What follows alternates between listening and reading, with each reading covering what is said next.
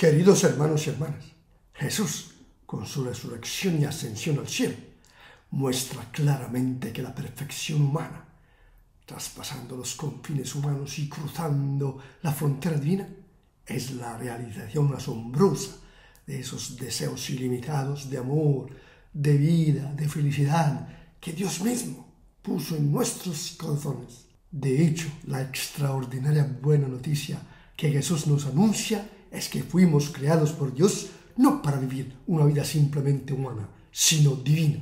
Queridos hermanos y hermanas, es por ahora. Chao. Que Dios los bendiga siempre.